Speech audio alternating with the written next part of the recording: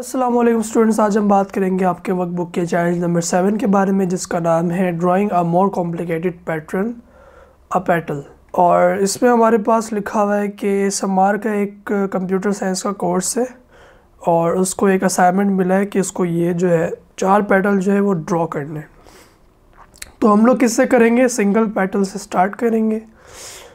तो जो हमारे पास जो ये पेटल है, ये है यानी कि इसकी जो वन साइड है, वो है क्वार्टर ऑफ़ अ सर्किल यानी कि अगर आप क्वार्टर लगाएँ तो क्वार्टर ऑफ़ अ सर्किल जो होता है, वो होता है तकरीबन यानी कि 360 डिवाइडेड बाय फोर तो क्वार्टर ऑफ़ अ सर्किल जो होता है, वो 90 डिग्री का होता है, ठीक है? तो जो यहाँ से यहाँ तक की जो आर्क है हमारी, जो ये पेटल की एक साइड है, वो है 90 डिग्री की. और इसी तरह से है, दूसरी साइड हमारे पास जो है, वो भी है 90 डिग्री की, ठीक है? और उसके बाद जो है, यहाँ पे या यहाँ पे जिस तरह आप करना चाहें लेफ़्ट टू राइट या राइट टू लेफ़्ट जो है, एक टर्न आएगा। उससे क्या होगा, फिर दूसरी साइड पे ये टर्न करके बनेगा। तो हम इसको अब ड्रॉ करते हैं अपने स्क्रेच के प्रोग्राम में। तो हमने जो डिफ़ॉल्ट जो है, जिससे जो कैट है, बिल्कुल अपनी इनिशियल पोजीशन पे आ जाती है, वो वाले मैंने कोड निकाल के रख लिए, जिसमें है ग्रीन फ्लैग इस क्लिक्ड है क्लियर है पैन अप है गो टू एक्स वाई है, उसके बाद जो है पॉइंट एंड डायरेक्शन 90 है जिससे कैट सीधी हो जाती है और सेट पेन साइज़ है। आ, मैं कर देता हूँ टू चले। ताकि ज़रा आर्क मोटी नज़र आए। उसके बाद है पेन डाउन उसके बाद है हमारे पास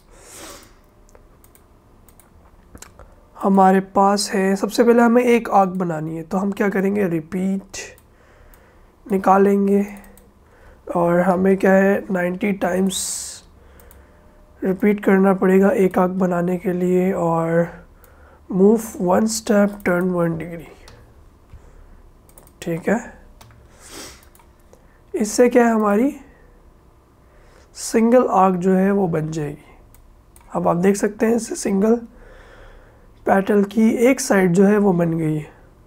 और अब हमें जो है इसकी बिल्कुल इस तरफ़ पोजीशन पे हमें क्या करना है? 90 डिग्री टर्न करना है। तो अब हम क्या करेंगे? 90 डिग्री टर्न करेंगे, मज़ीद। और उसके बाद जो है सेम प्रोग्राम हम इसमें रिपीट करेंगे। अब हम इस प्रोग्राम को रन करके चेक करते हैं।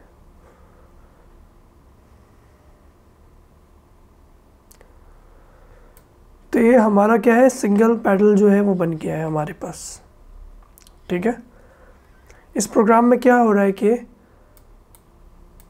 ये वाले पार्ट से जो है पेटल की ये वाली साइड बन रही है।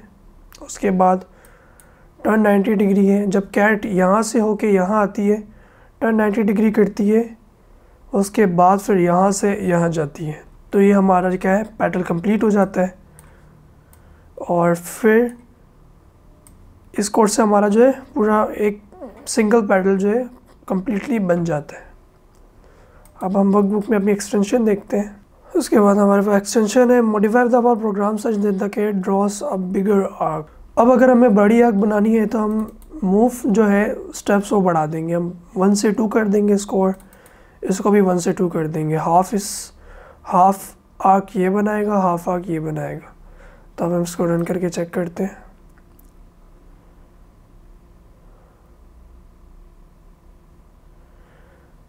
ये हमारा बन गया।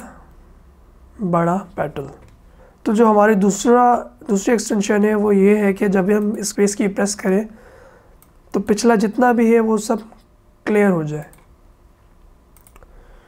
तो हम इसमें बहुत सिंपल है, हमें क्या करना है? सेंसिंग में जाना है।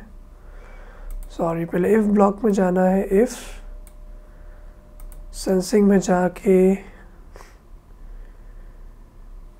की प्रेस कौन सा वाला है? स्पेस की इस प्रेस्ड जब भी स्पेस की प्रेस हो और ये फॉरएवर का लूप हो। जब भी स्पेस की प्रेस हो, पिछला सारा रिमूव हो जाए और कैट अपनी इनिशियल पोजीशन पे आ जाए। तो हम दबाते हैं, देखें कैट दोबारा अपनी इनिशियल पोजीशन पे आ गई स्पेस दबाने के बाद।